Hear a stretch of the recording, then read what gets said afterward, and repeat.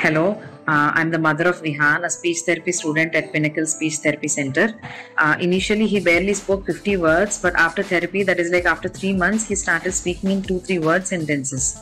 Uh, I would really like to thank Miss Akila Gonzalo, my son's speech therapist, uh, for her consistent dedication and patience.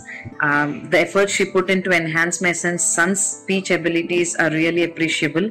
Um, and furthermore, I was given tips and techniques uh, that I could implement at home to enhance his speech abilities. I would like to say at Pinnacle uh, Th- Therapy Center, the environment is very kid friendly and it's a very happy and a col- colorful em- environment for a kid to be in. Uh, the, the complete overall experience I had with uh, Pinnacle Therapy Center and Akila, and Akila Gonzalo are really, really positive and happy. Uh, I would like to recommend this to everyone. Uh, thank you for your services and support.